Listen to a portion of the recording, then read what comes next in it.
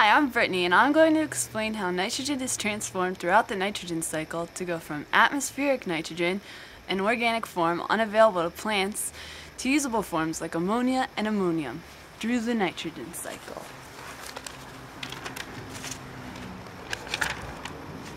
Nitrogen gas makes up 79% of our atmosphere. It is biologically inert in this phase.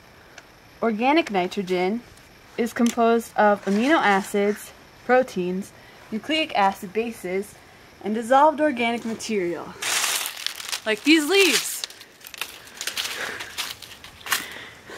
It is subject to mineralization by bacteria and fungi which use water to turn it into ammonia.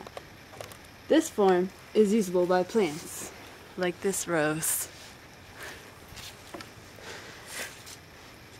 Ammonia can also be formed through nitrogen fixation, a natural process by plants like legumes and nitrogen-fixing bacteria.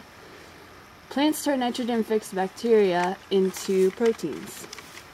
Ammonia is subject to nitrification, which involves autotrophic bacteria, which first produces nitrate, then is further modified into nitrate. This process is carried out by Nitrosomonas and Nitrobacter. This nitrate can undergo denitrification and be oxidized by heterotrophic denitrifying bacteria and return to the air as nitrogen gas. Through immobilization, which can occur in both aerobic and anaerobic conditions, ammonia can be subject to immobilization by plants and microorganisms and turned back into organic nitrogen. This form is unusable by plants, like this rose.